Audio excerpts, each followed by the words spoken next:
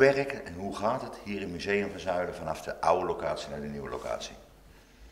Ja, wij zijn eh, heel tevreden over de resultaten. We zijn uh, nu een uh, goede twee maanden van start en het is veel drukker als dat het op de oude locatie was. Maar ja, we zijn ook trots om ja, de veel meer professionaliteit in de presentatie die er zit. Hè. We hebben dus onder andere, dat vind ik zelf ook heel erg leuk, maar dat vinden de mensen ook heel leuk, we hebben een touchscreen tafel met nou ja, de geschiedenis van Zuilen.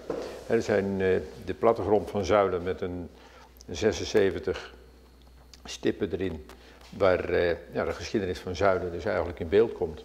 En die kunnen de mensen dus uitvergroten. Ze kunnen het op de gemak lezen, ze kunnen erbij gaan zitten. En dat, is, dat werkt perfect. Dat vinden de mensen heel leuk. Maar we hebben dus twee plattegronden. We hebben er ook eentje met blauwe stippen.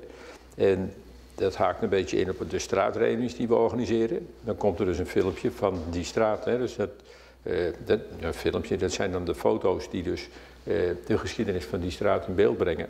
Nou, daar hoeven de mensen niks aan te doen. Kunnen ze gewoon op de gemak zitten, kunnen ze dus het uh, verhaal lezen.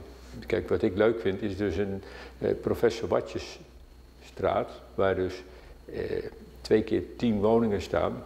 Dus twee rijtjes van tien woningen, waar geen winkel is. En je dan toch een verhaal over moet schrijven. En dan blijkt dus dat het toch een verhaal genoeg is voor 54 pagina's. En hoe pluis je dat allemaal uit, Wim? Ja, mensen komen dus vaak ook de verhalen brengen. Ook dat groeit. Hè. Dus mensen komen dus, eh, dan vragen we, komen ze op bezoek. Ik had hier eh, een paar maanden geleden, had ik dus, een paar weken geleden, sorry, een, eh, een tweetal dames. En eh, die wisten te vertellen van ja, bij ons in de straat, daar woonde een familie en eh, meneer was, eh, werkte op de zuurstoffabriek. Maar mevrouw had het nogal hoog in de bol. En die mevrouw, die heette dan ook mevrouw Rijk van Stand. Zo weet je, nou, de zulke verhalen, dat willen we ook graag vangen. Hè? Dus die, die bijzondere verhalen die de mensen komen brengen. We hebben dus hier eh, de microfoon hangen. En we willen dus als de mensen een bijzonder verhaal te vertellen hebben, eh, dan zeggen we nou ga zitten en, en vertel je verhaal ook. En ja, ja dat, dat, dat groeit en dat, dat gaat goed.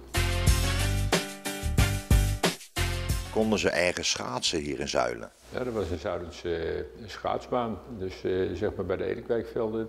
Uh, aan de andere kant van de Daalse weg. Wat toen de Daalse weg heette, dat was dus dat was de, de, schaatsbaan van Zuilen. Twee weken geleden had ik meneer Bus in het museum. Die vertelde ik over de jongens die dus bij Werkspoor werkten en met zeven personen gingen schaatsen. En ja, dat is best wel leuk.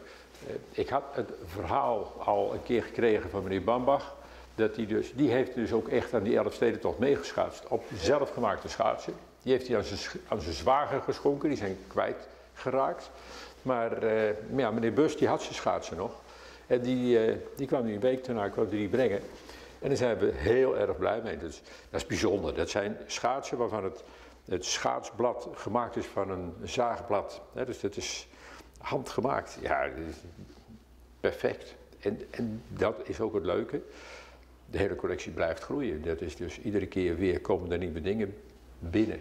En ja, afgelopen maandag werd ik nog gebeld door een meneer die zegt van ja, ik woon in Frankrijk, maar mijn vader heeft in de tijd bij Werkspoor gewerkt. Ja. En die, uh, ja, die heeft een tafelvoetbalspel gemaakt.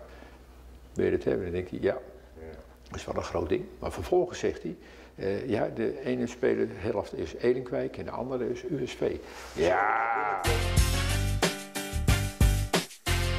Dat uh, zijn uh, heel veel bezoekers die dus dit stukje werkspoor op schaal ja, nog steeds bijzonder waarderen, natuurlijk.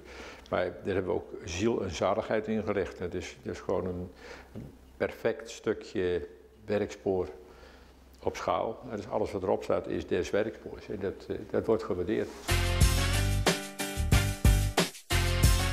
Wim, nog één ding. Hoe kunnen de mensen op een of andere manier toch met die tien personen hier komen? Heb je daar een boekingssysteem, een telefoonnummer voor? Ja, we hebben een reserveringssysteem. Uh, dat gaat met tijdsloten van een uur of twee uur. En mensen kunnen dat op de site terugvinden. Dus als ze naar de site gaan, www.museumvanzuiden.nl, dan uh, staat er dus bevestigen bezoek als uh, knop. En dan kunnen de mensen dus hun gegevens invullen. Of ze kunnen bellen.